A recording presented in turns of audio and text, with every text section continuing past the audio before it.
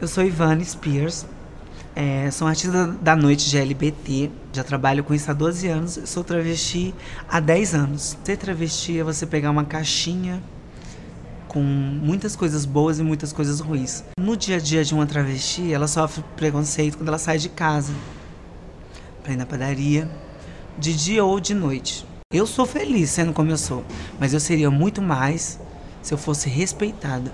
Eu não quero amor nem compreensão, quero respeito que eu respeito, eu quero ser respeitado. Pelo gênero que eu escolhi. Diz que denúncia é 100.